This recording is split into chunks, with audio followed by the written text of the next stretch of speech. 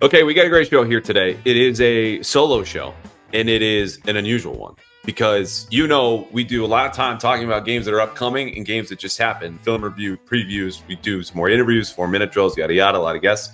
Today is the rare day we are recording on a game day. It's Sunday night. The Patriots are about to kick off their preseason finale, finale for the whole NFL preseason in two hours down in Washington against the Commanders. Jayden Daniels is not going to play. So by the time you listen to this game is over. But as you'll note by the title today, this is not about that game. This is about a 53 man roster projection when the Patriots, like every other NFL team, makes their cuts by Tuesday at 4 p.m. And as someone who has uh, been at every single practice but two, who has charted all the reps, uh, noted the order of reps, the number of reps for players at basically every single position, I feel comfortable telling you right now that barring some miracle or, God forbid, horrendous injury on the other end, that the Patriots' current projection, where they stand in these players, isn't going to change a whole lot tonight. A lot of players are going to play, and pretty much the hay's in the barn. So I have my roster projection. I will tell you right off the top before we get to every single mailbag question you guys delivered this week. And it's not just because someone asked about beer to mix up all the football talk. It is um only got 52 players on it. I'm reserving one spot for a team that's picking third in the waiver order, has clear holes both in the short term and the long term and is supposedly going to be aggressive in using that place in the waiver order to pick up players that, as Eliot Wolf told us last week, the whole freaking scouting department is scouring preseason tape looking for help. Now, that's not unique to the Patriots, but that is the backdrop against this decision of saying, hey, I'm only going to pick 52. It's a rare year where it's a struggle to get to 53. And honestly, if you have been reading or listening or watching or whatever, other 53 man roster projections, you know there's a lot of overlap this year from folks in my seat and other places. So it's not to say that we're right. I just think there's a lot less mystery this year because of the talent deficit, we'll just call it, and the fact that everyone, coaches, front office, media members, pretty much see this roster the same way. So we're going to go position by position. I will spice this up a little bit. And by spice, I really mean probably like a pepper or salt. This is not anything that's going to get you off your chair. But when I list the players in a row, I will go by the order of strongest job security to the one closest to the bubble. Now, spoiler alert, when we get to safeties, Kyle Dugger and Jabril Peppers, I have to put them in some kind of order. They're both making the team. I don't even think they're going to play tonight. They're not going anywhere. I do and will put them in a particular order, as you'll see then. Uh, so just something to pay attention to as we go through this, because I know you're consuming a lot of this content and will up until Tuesday at 4 p.m., which is why we're doing this tonight. So uh, after this, I'm going to write a column. But for now, let's do the roster projection, get to the mailbag, and get out of here. So, one last reminder this is not the roster I would pick if I was Eliot Wolf. This exercise is to say, what do I think the roster will look like by the time we get to 4:01 p.m. on Tuesday? What will the Patriots do based on the information I have? But if I think they're going to do something I wouldn't, I'm not going to go with my pick. I'm going to go with what I think that they will do. Let's go. Quarterbacks right off the top, they're keeping three. This is how I see it Drake Maye, Jacoby Brissett, and Joe Milton. Jacoby Brissett is going to start week one. And I say that not with my Boston Herald reporter on. I say it as the podcast host who's got a little bit more journalistic freedom here. But you don't see position competitions that Jerod Mayo has been talking and talking and talking about where one player gets all the starting reps and the other one doesn't. And especially this week, where I said on TV, I think it was Wednesday, they tipped their hand today because they're doing regular season style practices before tonight's game against the Commanders. And so you have the first team offense, second team offense. Starters get virtually all the reps, and then have a couple like emergency scraps. Hey, if he goes down, we'll give you a couple snaps with the center. Well, that's what Drake Maye got. So it's not just that Jacoby Brissett, who was better for the first three weeks and has been the worst passer since, is still getting the starting reps. It's that they're in regular season mode, and he's the guy at the top. So I think he's going to start week one. I think that will be announced Monday or Tuesday. Uh, but of course, Drake Maye has more job security. As for Joe Milton, oh, actually, before we get to Milton, I don't think I delivered these last time. Season long stats for training camp. This is how I had it from my charting. You've got differences uh, amongst the media because some of them will tab sacks for players who got close to the quarterback in these rushing uh, 11 on 11 periods, but they can't touch the quarterback. They've either got to go by, they got to stand up. There's just a, a gray area there. And that goes even for the coaches, too. There's disagreement I know within the staff in years past, but someone's got to make a call. My call might be different from the next guy. All of which is to say, for training camp, here's Jacoby Brissett. He uh, attempted 17 more passes than Drake Maye in seven on sevens and 11 on 11s. He completed 65.4% of those passes, six picks, 28 sacks. So 65.4%, six interceptions, 28 sacks. Drake Maye, 62.4% completion percentage, five interceptions, and 21 sacks. So you will know that while Brissett had 17 more attempts in the larger sample of 246 passes compared to 229, that's not that big of a difference. And yet, Maye had 25% fewer sacks and one fewer interception. Now, it wasn't as accurate because he's a rookie, but those are pretty good numbers for a guy who, after the first two weeks, you're going, yeah, he doesn't look ready. And he didn't, but things changed and he played better. And you see that in those numbers there. Okay, I mentioned Joe Milton. Uh, speaking of improvement, he's shown enough to me where you continue to work with him as a project, which is what he is. It's not because he didn't have a ton of experience in college. He was in Michigan for multiple years. He was then in Tennessee for multiple years. It's that he is making an even bigger transition than Drake Maye when you just strictly talk about the last offense he played, he ran, he operated it at Tennessee to this long West Coast verbiage, 15, 16 word play calls. And so that's part of it. It's the footwork aspect of it. And also a guy who just honestly struggled to change up the velocity on his throws and a lot of things we talked about. I think was it two weeks now after that preseason opener? Anyway, he's looked good enough. Bailey Zappe got cut last year. They were signing him to the practice squad. I think if he wants to come back, they would have him as a fourth quarterback in that situation. But for now, I think he'll be on the street come Tuesday, and those are our quarterbacks. Three quarterbacks on the roster. Moving to running backs. This is pretty cut and dry to me. Rhamondre Stevenson, Antonio Gibson, JaMycal Hasty is my running back three, Kevin Harris.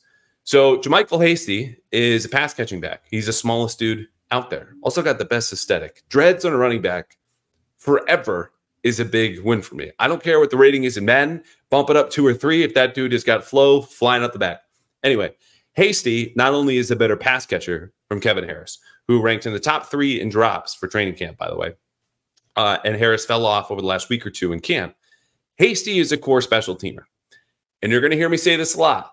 And for the folks who are always frustrated with Bill Belichick about the emphasis he put on special teams with the roster building, first of all, I would say I, I especially agree with you at the end.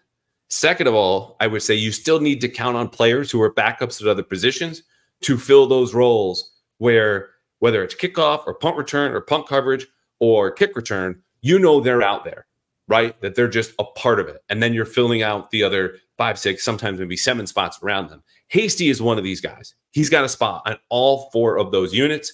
He's looked better in camp. He's caught more passes from Drake Maye with that second team offense than Kevin Harris did. Those to me are the four running backs. And Harris is, he's on like the front end of the bubble. If they do cut him, I think it would be because they're confident they could resign him to the practice squad if it came to it. Let's go to the receivers. I have six, and I think this is right on the money. In order, again, for job security, Ja'Lynn Polk's not getting cut as a second round pick. Demario Douglas not getting cut because he's their best receiver. So they're in the same tier. Then you go to KJ Osborn, who's making the team. Tyquan Thornton, right now, wide receiver four. Then Javon Baker, whose job security is really tied to his status as draft pick. It's nothing he's done the last three weeks. And then Jalen Reagor, who is, I don't know if he's 50 or he's 51 or 52, but he's not 53. He makes the team. Uh, but let's go back to the top. Ja'Lynn Polk has been mixing in with the starters the last two weeks. That means replacing Tyquan Thornton or KJ Osborn. He's coming up. He's also played a little bit in the slot. Big thumbs up. In the slot, Demario Douglas. This dude finished training camp first in catches, despite missing team periods for basically the first two weeks of camp. So he squeezed in a summer's worth of catches in two weeks during 11 on 11s and 7 on 7s. Only had one more than Ja'Lynn Polk for what it's worth. Um, but those two are at the top firmly for me. And then Osborn and Thornton, who I said before, have been running with the starters. They're going to be here. And Alex Van Pelt had a lot of praise for Thornton on Thursday, not only just about his speed, but he is legitimately tracking the ball better than he ever has before. And then like him a little bit better now in contested catch situations um, than they have before. And this is the best he's looked.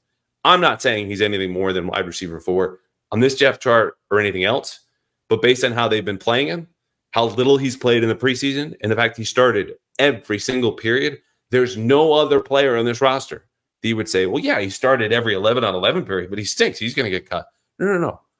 Tyquan Thornton is not the exception to that. He's going to make the team. Uh, Baker, again, it's just, it's not been good. We talked about it route running. I think there are some uh, reads that he's missing in there, just like Joe Milton, Drake Maye, more simplistic, up tempo offense. And he's just, I think, a little bit behind, certainly relative to the quarterbacks as far as adjusting to NFL life and adjusting to NFL competition. Reagor for me, uh, gets the edge here. I talked about special teams already. Here we go again. The return ability, he's starting off a lot of those. And Marcus Jones, I think, will be the man on punt return. But Reagor now has got more speed, more athleticism, and impact than Kayshon Boutte, period, as a player, but especially on special teams. And that gives him the edge. Not to mention when they start to rotate those starters, again, on the outside, it's been Polk, it's been Osborn, it's been Thornton with the ones. The next receiver up most consistently in camp was Jalen Reagor. So to me, he gets the edge over Boutte. I know we have a lot of Kayshon Boutte fans out there, and I don't blame you. But I would just ask you this where does he consistently win aside from having hands where he can just, as we saw in the flat the other day against uh, against the Eagles, he's got great hands, but physically doesn't profile like Jalen Reagor, who's also impacting a second phase. It's a close call, but I just think there's a clear winner here for what we've seen so far in camp, how the Patriots have treated him uh, and used them both. Not to mention Boutte also never really rep with the ones this summer. So that's just is what it is. Uh, moving on to tight ends, we got three here. And this is a little tricky because of health. We know Hunter Henry has been out for a long while. Austin Hooper came back. Mitchell Wilcox also came back. But Wilcox is battling with Michael Pettway and Jaheim Bell. Right now, I have Bell outside looking in, probably the 54th or 55th man on the roster. And you can see the movement skills like we did even in the preseason opener. And that's cool. Like this, an athletic dude. He's good after the catch. A lot of advanced metrics like them coming out as a prospect. But he was a seventh round pick to a bottom five team in the NFL.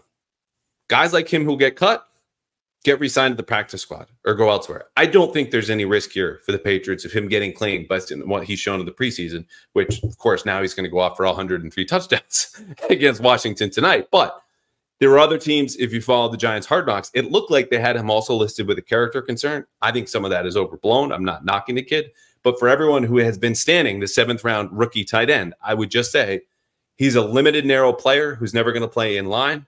And he didn't dominate in any kind of way, aside from one practice when he had three touchdowns and seven on sevens running the same flat or slide route uh, when the top three tight ends were out.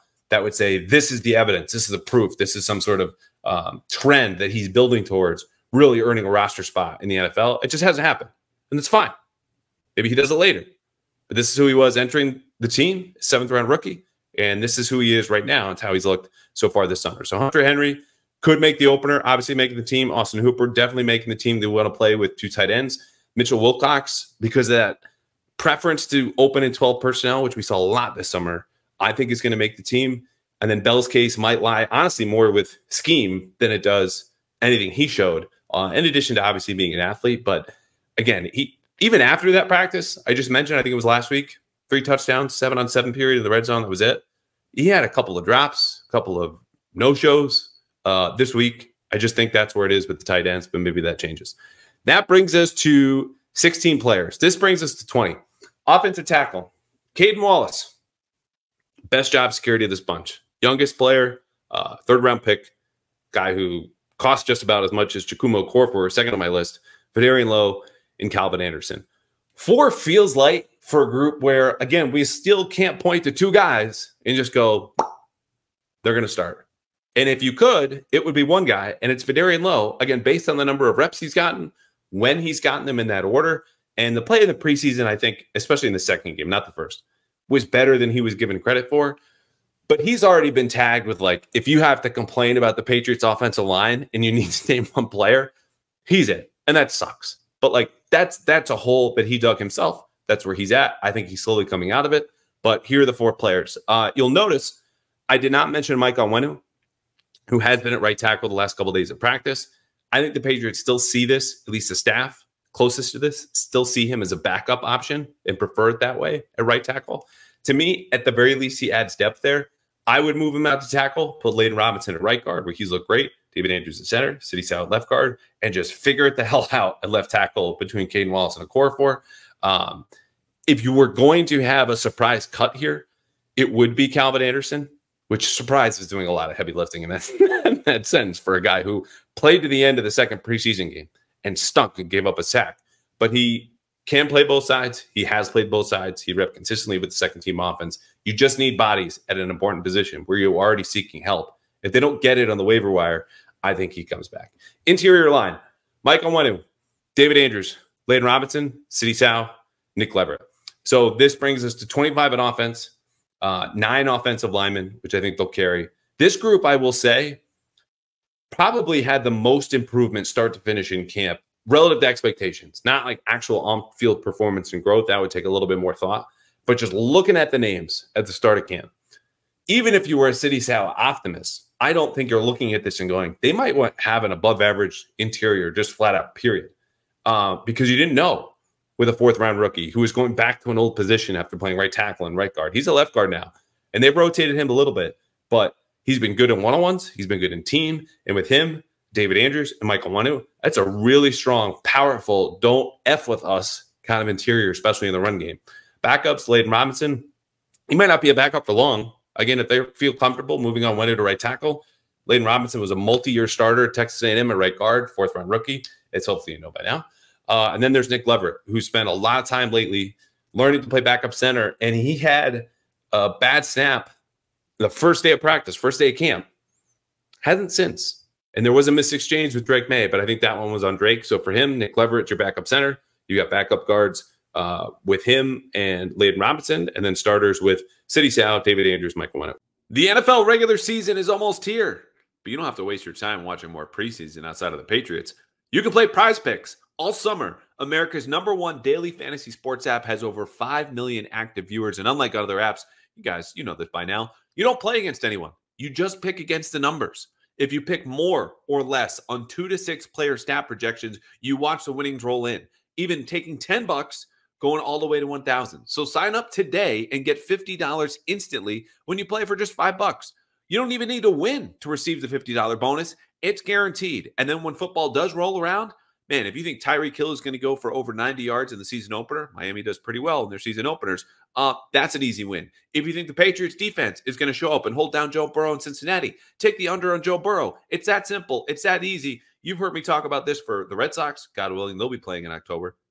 You can do all kinds of sports, but get ready for football with PrizePicks. It's available in more than 30 states across the country. So download PrizePicks today and use the code CLNS for a different bonus. This first deposit match is up to 100 bucks. That's right. Just put in CLNS on PrizePicks for a deposit match up to $100. PrizePicks, run your game. All right, enough offensive line. Let's go to defense. Edge players. This is a mix of outside linebackers and defensive linemen. Let's go from again best job security to least. Keion White, no said. Deatrich Wise, Anthony Jennings, Josh Uche, Oshane Ximines. You've been listening. I hope you have. You heard him early in this podcast. I think after the first week, he's flashing a little bit. Him or William Bradley King, who did not make the list, we'll get to him in a second. Uh, he's going to make a play in the preseason. Everyone's going to jump on him. Lo and behold, it was Oshane Ximines, who not long thereafter, in the joint practice against the Eagles, is rotating in with the starters. And it's not just because you've got uh, health questions there. He earned it. So he's there. As far as the top of this group, look, Keion White is going to play all over the defensive line, but he's going to man one edge of this defense, depending on the front. I mean, sometimes you'll see if they want to go four down, Deatrich Wise will probably play defensive end. Opposite him, it'll be Jennings, still excellent versus the run uh, as an early down starter. Josh Uche, bad camp, just just flat out not good. And yet, this dude still tied for the team lead in sacks with four. Kyle Dugger also had four sacks, by the way, which could tell you how bad some of this pass protection was during camp. Just flying through unblocked uh, on safety blitzes, but we know the talent's there. I don't really want to spend a whole lot more time talking about Josh Uche as this theoretical player who was great in 2022, and we just haven't seen him since. You hope it comes out. We didn't this summer. Who knows? But he makes the roster along with White, Deatrich Wise, Anthony Jennings, Oshane Ximines. William Bradley King made a push here late. That dude's a former seventh round pick in 2021, practice squad last year. I think they like to keep him around. The only way that I think he makes the roster is if they're convinced by virtue of his performance against the Eagles and joint practices, uh, and then in the preseason that they can't bring him back and they're a little bit dinged up here. Maybe, just maybe, because Uche's missed time lately, you keep him and he could be a special teamer. And again, there's an open spot. We only have 52 players here, but I just he's he's right there in the outside looking in for me with Jaheim Bell. Interior defensive lineman. Again, this is the big neon, all caps, hope wanted sign. at this spot. Davon Godchaux and Daniel Ekuale uh, starting locks. Then you get to Jeremiah, uh, Jeremiah Pharms Jr. And I have Trysten Hill on the roster. Now, a couple things on this. Godchaux and Ekuale again locks. Ekuale's been my surprise of camp. He looked good against the Eagles in the joint practice. He started every single uh, team period. This is good. Pharms, big bodied run stopper. You'll look at his pro football reference page and it'll say 12 games played last year. And you're like, how the did he play a dozen games? And I just missed that. Well, he started the season on the practice squad and didn't get up to 100 defensive snaps played. So even if you are out there, Jeremiah Pharms Sr., listening to the podcast, it's a big jump to go from less than 100 snaps played in one season to expect of that player at age 27 to suddenly contribute in a way that he's playing, you know, 30, 40% of the defensive snaps, even if right now he's DT3, as it were. Uh, now let's move on. Trysten Hill. Okay. A former second round pick of the Cowboys. He is listed at 6'2, 6'3, and 310 pounds. If Trysten is 310, I'm 175 and I run a 4-5 flat. So it's just not it's just not the case. Trysten Hill, however, is more of a penetrator, more of an interior pass rusher. And we get flashes. Flashes are cool. And you can get by on flashes if you're the fourth defensive tackle, which I have him here now. But when it comes to, say, Pharms gets dinged up or Godchaux or whomever it might be, they need a bigger body in there. That's not going to be Hill, but his skill set is valuable in a way that that kept Daniel Ekuale around the last few years before he is now the plugged in starter. I think they still want another big body here. The one name you'll note, uh, or may or may not know, Armon Watts, who signed a one year deal after playing for the Steelers last year, a couple years with the Vikings before that. He's playing towards the end of these preseason games. And when I think back about whether it's a flashes as an individual play or series or practice, it's just not there for him. And it's it's great that he can play. You know, you wouldn't want him on the nose, but he could play in a one technique. Um, you know, four eye, maybe outside as a five. There's just not a lot beyond. Eh, fine. Like he, he's again more run first player. You've already got two in here. The upside, I think, is tapped out. Uh, if they're worried about losing him, maybe again he does squeeze into the 53, but there's nothing I can go and point to this summer and be like, oh yeah, he's the guy. You're banking on his previous performance suddenly surfacing now in a way that has yet to in the new system with this defense. Because I, I don't think he's outperformed Trysten Hill, and that's why I had Trysten Hill ahead of him, even if they're slightly different players, especially from a pass rush standpoint. Okay, enough interior defensive line. Four more inside linebackers. This brings us to 38 players. Ja'Whaun Bentley, Jahlani Tavai. Tavai is going to play a lot on the edge, by the way. So if you're worried about Anthony Jennings, Keanu White, like this is the most boring cocktail of edge rushers I've ever had. Well, Jahlani Tavai is not going to spice it up necessarily, but he's strong enough to play early downs and mix it up a little bit on third down. So he's there. I have Raekwon McMillan and Christian Ellis in this roster, and we're going to go back to, you guessed it, uh, special teams. Not because it's a particular sexy topic, but again, when you look at the players, the five or six the Patriots have right now, who are starting on kick return, kickoff, punt return, punt team, those two dudes are on all four. So I like them not only as core special teamers, but Christian Ellis supposedly catching the eye of Dont'a Hightower, big, physical, uh, trigger kind of player downhill against the run. He got washed out in Philly where they've needed linebackers for God knows how many years. Probably since the original Jeremiah uh, Trotter was out there. Now that they have his son as a whatever round rookie. But the point being is they make it because they contribute in two phases. No, they're not great, but eventually the Patriots will get Sione Takitaki back. At that point, I think you would see a McMillan or an Ellis off the roster. But for now, both of them stick. They're fine backup inside linebackers, but they are starters on three, if not all four special teams units. And I think it's four, but um, sometimes these looks change. But they're, they're, I think they're going to make the team. Cornerback is uh, another six right here. The six is to 44 players. Christian Gonzalez, Jonathan Jones, Marcus Jones, Alex Austin, Marco Wilson, Isaiah Bolden. In my opinion, the only question mark here is Bolden. That's it. We're not going to talk about special teams with him, but we can't talk about athletic traits. 6'2 player runs a sub 4 4. This is effectively his rookie year. Remember, he's now missed, uh, hasn't played in a game. Well, he has played in a preseason game, but gets knocked out in Green Bay. Scariest health concussion, doesn't come back. He's back now. We haven't seen a ton of playmaking as far as disruption, pass deflections, interceptions, even blitzing from him so far in camp. I just think those are the end of the roster players you bank on and develop a little bit more, especially coming from where he did at the FCS level to make an impact. I'm a little surprised also they haven't used him as a return man, but I already promised we're not going to talk special teams. Let's go to the top. Um, look, it's Christian Gonzalez, Jonathan Jones is still their best second option. Opposite him on the outside, Marcus Jones, they're really trying to make working at nickel. I haven't loved it so far. And even recently in the last couple of days, giving up three catches, working against a scout team offense, not a good sign, but he's still working his way back after missing three weeks of practice. Alex Austin has been routinely outside corner number three. And Marco Wilson, for me, is up there as far as ball disruption, even if he's had a couple of bad, bad practices. The pedigree is there, the history of production in Arizona. I think you just trust it a little bit more, even if Alex Austin's probably been a smidge better. You're talking about your fourth or fifth corner. You, you take a guy who's been a starter in the league before, even if he's not that player that we saw in Arizona in 2022. If anyone was watching Arizona in 2022, um, but those are my six. The one name I left off here, well, I actually left off two. Shaun Wade, who people forget made this roster. I'm talking about media members as well. Like last year, we're in the locker room as we will be this week after roster cuts. Hey, congrats, man. Well done making the team. A lot of people dapped up Shaun Wade last year in the locker room. That dude has made the roster outright several years now since he got traded from Baltimore. I think it was 2021 as a fifth round pick, and the Ravens were like, yeah, we've seen enough. He is the cockroach, and I say this lovingly, of the cornerback room.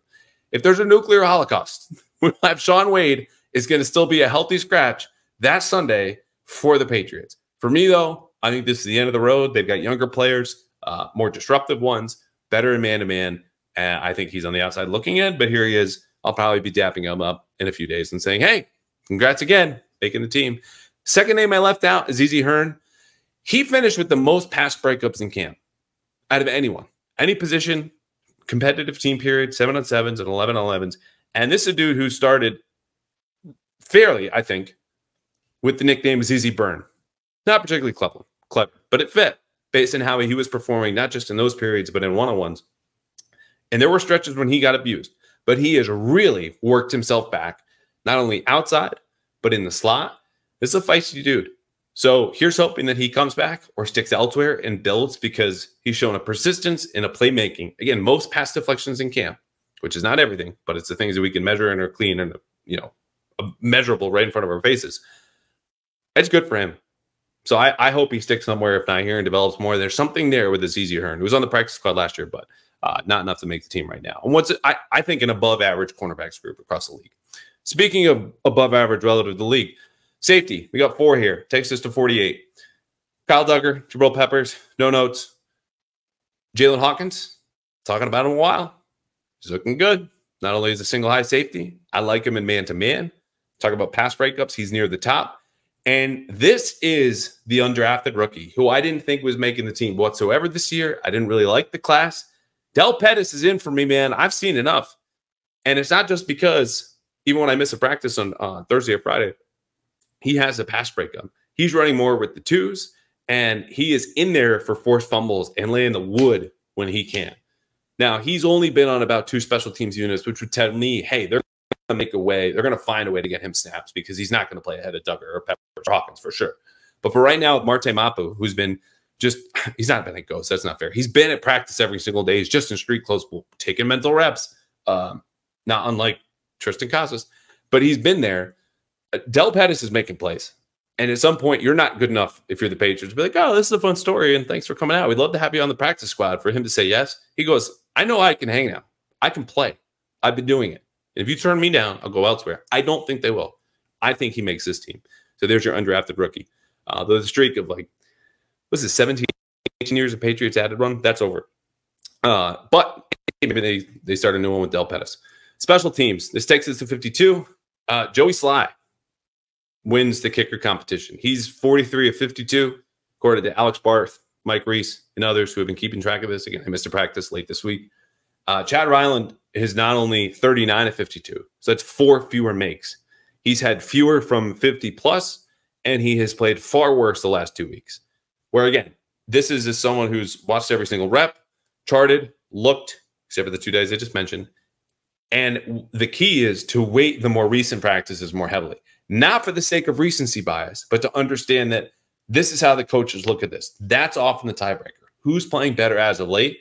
because that's usually indicative of growth after three, four, four and a half weeks of practice, a bunch of preseason games. Right now, Joey Slye is probably a finished product, right? A journeyman, but he's kicking really well. He's kicking really, really well lately. And Chad Ryland has fallen off, including one practice where he was one of four, and one more recently that he was three of five. So it's just, it's not only worse, it's like we can't have one of four or three of five or, you know, four of nine in that case over a two game, three game stretch. It's just, we can't have it. We're losing games. You did last year, and we all saw it. Uh, the other two, Joe Cardona's long snapper, Brandon Schooler, Brenden Schooler, forgive me, his new Matthew Slater Memorial core special team roster spot. Though I will say this, you know, you'd think four safeties for a team that likes to play with three as its base personnel, its base three safety nickel, is a little bit light, and you'd be right. Schooler's been repping enough with the second team defense, or did and can't, that I think they're comfortable enough having him out there. And so he would be your safety five in this place. He continues the Matthew Slater tradition of having one spot reserved for a dude who's just going to dominate on special teams, and that's him. So that leaves, excuse me, Kendrick Bourne on PUP, Cole Strange on the physically enabled to perform list, and Sione Takitaki. Still looking for run stuffing defensive tackle. They'll take help at offensive tackle. I just don't think it's going to come because every single team is looking for that kind of player at that position every single year. All right, that was it. Let's get to the mailbag. I love you guys. I don't I don't know how we could measure this, and certainly no one would care except for you probably listening right now. I have the widest range of folks in my mentions where this uh, person writes in is Ice Frog. I have a goblin friend who I go back and forth with in the mentions sometimes. Creatures of all kinds responding to me. I don't know what it is about the coverage or the podcast, but bottom line, thank you. It spices up a lot of uh, bots or people with their initials and then seven different digits. Anyway, from Ice Frog. Morning, Andrew. With Tyquan Thornton showing improvement lining up with the starter so far this year, what do you expect his snap percentage will be? And what do you think his ceiling is for catches and yards this season? Thank you, sir. Oh, no, thank you, Ice Frog. Um, it's a good question. I, think the fair over under for Tyquan Thornton, understanding he is going to have to, I think, start fast because you have Ja'Lynn Polk right behind him. Javon Baker, you would hope, you would think, figures it out soon thereafter. I would put the over under at around 45%. Now that's obviously way higher, um, or it's not way higher. I think it's in the neighborhood of what he's been lately. But the first two years, obviously, he got a chance to prove himself. Okay, he played more snaps than Kendrick Bourne did two years ago when Bourne was in the doghouse with Patricia and Belichick. As far as his ceiling for catches and yards, I think 500 is fair. I think catches would be probably 30, 35 because he is going to be the big play threat. Like this is going to be a guy that you know and you watch and we all see uh, average somewhere between 14 to 18 yards per catch if they're using him the right way. And I think they will. We've talked about this before. This is a downfield, deep attacking pass offense, a lot of play action shots. He's suited for that. And again, now that he's tracking the ball better, I think he's a better route runner. He's not a well rounded receiver still, but if you can just do those specific things at an above average level, that's incredibly valuable. I just think, given the surrounding competition um, and what this pass offense is going to look like, those numbers are probably um, about where he's going to top out. Epri, Mike Reiss. I love Mike. I would say friend of the show. He's never been on the pod. He can't come on the pod per ESPN rules. But that guy, I will tell you, uh, is as nice, uh, hardworking, and I'll just say as sweet a man as you would expect on Twitter. He's a, a very good dear friend, and I would say part-time mentor to me. Anyway, Mike Reiss projected Ja'Lynn Polk as a number three or number four option. A recent article for ESPN. In a receiver room void of high-end talent, should more be expected from a second round pick, being quote unquote tough and having quote unquote strong hands. Epri not coming across as a Ja'Lynn Polk fan means little if he can't separate. To that last point, Epri, you are correct. You have seen many uh, tough receiver with quote unquote strong hands uh, come through New England. Here's the thing, though. I've described his game as mature, and that says he understands leverage, is a better route runner, knows how to set up certain routes, and also play big, not only at the catch point, but I think early in the routes to win on, okay, this is third and four. He's probably running a slant. This is going to be some sort of quick game route. And you run the slant, you win anyway.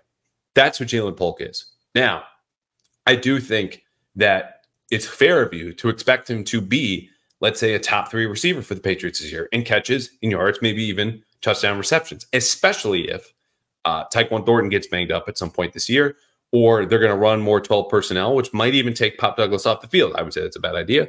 But the point is, yes, right now he's not an instant separator. He still put up insane numbers in college with this skill set. And I think he's going to continue to grow because, unlike, I think it's fair to say, Javon Baker and things that I've heard and we've watched, he's on his details more than Baker is.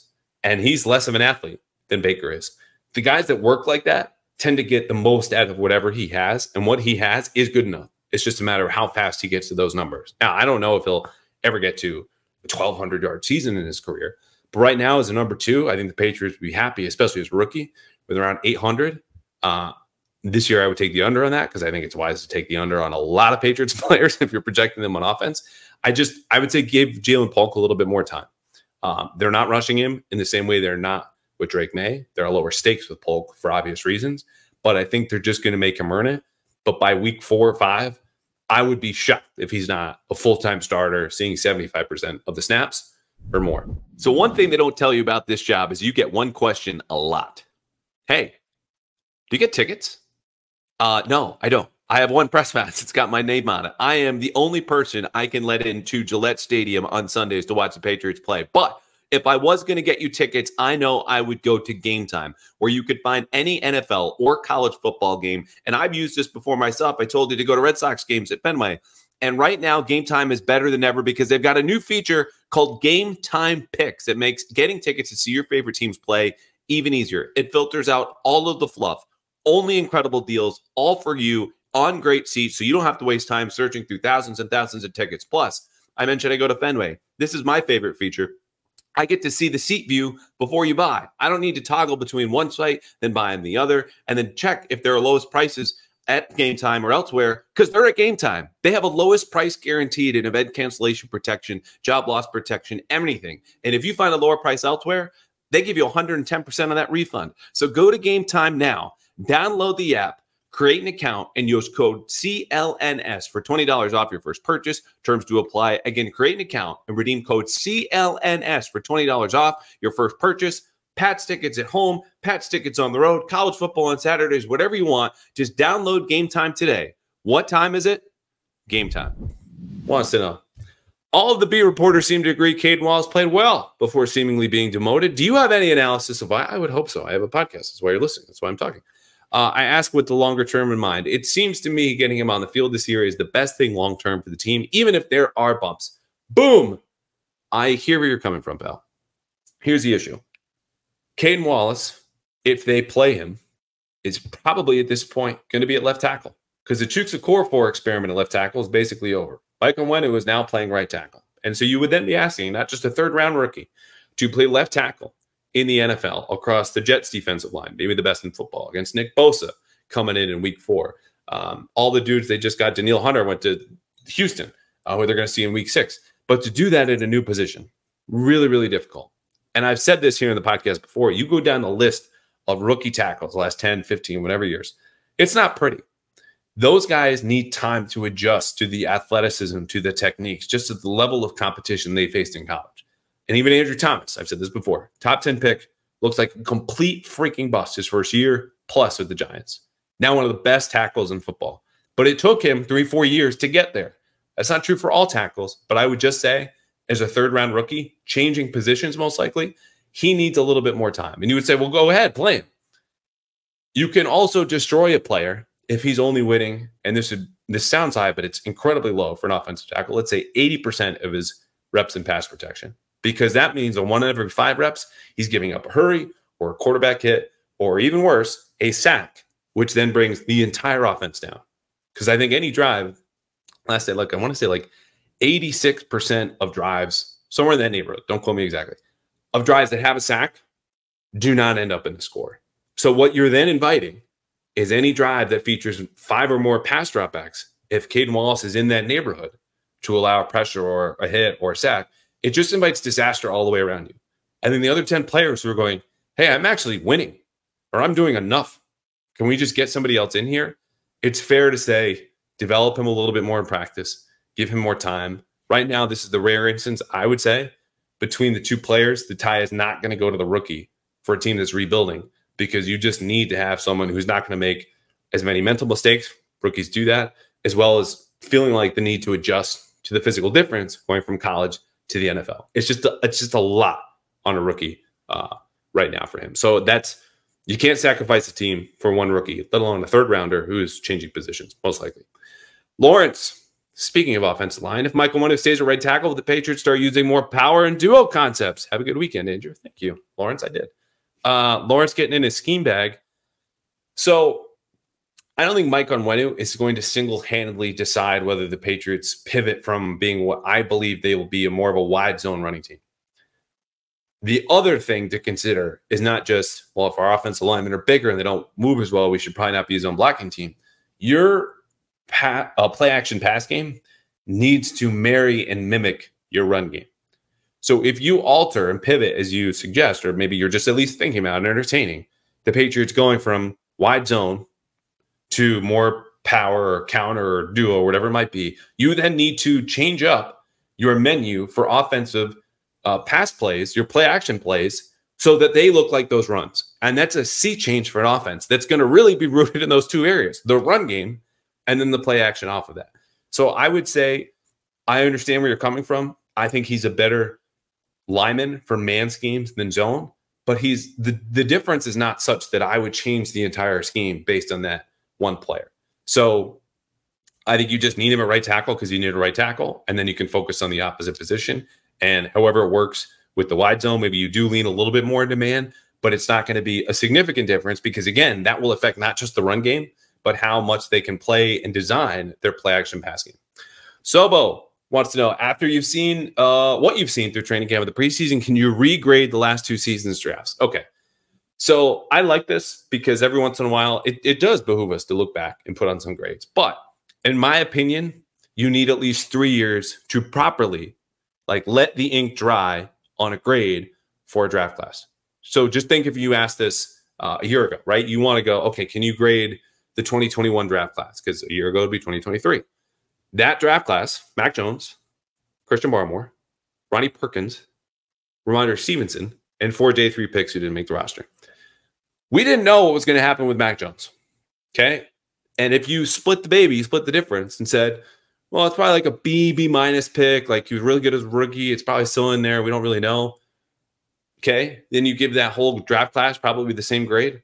That BB minus is a much bigger difference than what you would do now because you missed not only on the first round pick, but on a quarterback. So what this draft draft class is really looking like, and we're not going to relitigate the whole Mac thing. But Christian Barmore and Rhamondre Stevenson, two good starters, above average starters who got re-signed. That's good. But the difference is such that we know so much more about Mac Jones now that changes how we view that draft class. Or even two years out, it was too early. I don't think we can fairly do that now. But because I'm a gracious host, Sobo, uh, I will give you that grade. And I think the 2022 draft class, excuse me, is looking pretty much as it did right after it was finished. Cole Strange feels like a rent, uh, reach. He got benched twice as a rookie, inconsistent last year, and then got hurt. It's not his fault, but he's not playing a premium position. Tyquan Thornton was projected to be a fourth or fifth round pick. He's performed like one. Marcus Jones has been solid, but then you go to day three. Jack Jones, who was lit up like a Christmas tree with character concerns on a scouting report, lives up to exactly that. Bailey Zappe's been whatever. You traded Pierre Strong and then nothing from the other four uh, day three pick. So I would give it a D plus. That's a D plus draft. You miss in the first round pick. You've likely missed in the second, but we hope for the best for Tyquan Thornton. And the obvious pitfalls the players you took after that. Marcus Jones, solid, but little injury risk because he's five foot eight playing in the NFL. And then Jack Jones, who turns out to occasionally be a jackass, was exactly that. Uh, 2023, this is another big one where if Gonzo and Keion White hit, like I would say most of us believe, let's just give the optimist case. Like these are long-term pillars of the defense moving forward. This is a B plus at worst. I gave it a B plus right away. Did a whole podcast last year saying this is why it's better than you think, yada yada yada. Not only those two, two starters, if that's where it's, it's trending right now, tracking that way. Pop Douglas and Sidy Sow. That's four starters out of a draft class. You're usually happy with two or three. Uh, but to me, if they do make that year two leap, those two guys at the top, not only just your highest picks, but guys playing premium positions, that would go from a B plus to an A. But we got to see. We got to wait. Give it three years. Jay Quincy Jr. Do we think the sensible plan moving forward is for Cole Strange uh, to transition to center? Guard looks increasingly backlogged with uh, Layden Robinson's ascension. Could he be the successor to David Andrews, who played a few games there in college, undersized, smart, moves well, etc.? Thoughts? I think it's a, a fine idea. Um, we're not going to talk about this a whole lot because I don't know how many people want to listen to a guy who's disappointed so far and might not play until December. But Jay Quincy Jr., I like where your long term planning is at for the front office because you're right. He is undersized. Uh, you're right. David Andrews is going to come up and retire, if not after this season, but after next season. And so you'd like to have a player who athletically profiles, a player that you know, be able to replace him. So uh, I actually forgot that he played a couple games in center. Hat tip to you, sir. I just don't think we're going to be able to answer this question, or the Patriots will, honestly, until maybe this time next year. Kurt, Kurt got a shout out earlier when I mentioned the, the beer, I think in the intro. Uh, he wants to know any good beer recommendations for the Pats game against the Bengals in September 8th. It might be a tough watch and a quality beverage will be helpful. Kurt, I am always glad to talk beer. Maybe we'll add that as a new segment on this podcast. We're doing mail fan, we're doing four minute drills. Here's the thing though this time of year, not only because football is finally approaching, is one of my absolute favorites because Sam's Oktoberfest is back in a fridge near you. Now, I'm a basic fall beer kind of guy. Sam's Oktoberfest is the best Sam's, in my opinion. I I would swim in that stuff. I will also have a lot of Shipyard Pumpkinhead, another super light, uh, basic October beer. If you are into IPAs, Kurt, I will still say you can never go wrong with a good Trillium or a Treehouse. Friends of the podcast down at Vitamin Sea, they're located in Weymouth and in Plymouth. Great choices all across the board. And I do not think it's too late in the year for an IPA, even if it's September 8th, or let's say even the end of September, because the world is still going to very much feel outside like it's a summertime. It's going to be hot. A couple other IPAs. If you're, I, I don't like them bitter. I like them a bit smoother. So the one thing I always look for is a good Citra hop. So if you're like me, whether it's Vitamin Sea or Trillium, uh, I don't think Treehouse uses a ton of Citra, but wherever you're looking, look for the Citra hop. And uh, two more things I'll say. I had this a couple of years ago up in Maine. It's a beer called Epiphany by Foundation Brewing. They're outside of Portland. Um, it's they say it's not a New England IPA, it's a Maine IPA. It is outstanding. Again, Epiphany by Foundation Brewing. It's not particularly bitter. There's almost like a tiny, tiny bit of pine, which I'm sure is why it's a Maine IPA. Anyway, pick up Epiphany by Foundation, ending Trillium, Treehouse, Sam's Oktoberfest, Shipyard Pumpkin. And the last thing I'll say is this, because I haven't overloaded you with too many. Could you tell I was excited about the question? uh, if you're just looking basic, smooth, drinkable this time of year, most any amber ale is going to be good. And I, I know a couple years ago, I had a very, very good amber from Cambridge Brewing Company, uh, which is closing at the end of this year in Kendall Square. So if you're nearby, I just gave you plenty of options. Kurt, please write back. Let me know what you settled on, uh, at least by the season opener. Three more. Boston. I think this is Bosdan's first first mailbag question. You always remember your first Bosdan, and here it is. Isn't the consistent shuffling of the offense line an issue given the lack of talent? Good coaching and consistency can help cover up for gaps in talent. We haven't seen that consistency be a priority with the coaching staff. It's a fair point. I would say there are two counters to this. Number one is training camp is the time for that experimentation. There's always shuffling. And part of the benefit of that is to find out a guy that we might have drafted to play guard, say Layden Robinson at right guard, can he play left guard? Because if he can do both, that saves us a roster spot. Or let's say someone like Mike Onwenu, in 2020 was a six round pick, had always played guard in college. Why don't we just play him at right tackle for a little bit? And the Patriots learned very, very quickly he could do that. But the only way they learned it is to experiment, or as you said, shuffle the offensive line. Number two, I would say, is they don't know. This is not only a new scheme, a new coaching staff. We talked about the strike system before, the Scott Peters, ex offensive lineman for the league, coached as an assistant for four years, all under Bill Callahan who owes the, the belt, the fictitious best offensive line coach in football belt since Carr retired. Um, he's installing a totally new set of techniques that they're following. So there's a lot of transition, a lot of time, and you need to see who can apply that the quickest, which means giving a lot of playing time to a lot of different players. I will say the Patriots made this harder on themselves when they did not outright sign or add or trade for a left tackle and instead said, well, the guy we signed for one year, four million bucks before free agency and Chuks for he might be able to do it. Hey, Caedan Wallace, he started for four years at right tackle. He might be able to do it. He's a third round rookie, and neither have. So you're stuck again with Vederian Lowe. who I, I again is does not deserve to be a slur of any kind as far as or a uh, to be associated that way uh, with just being a bad offensive line.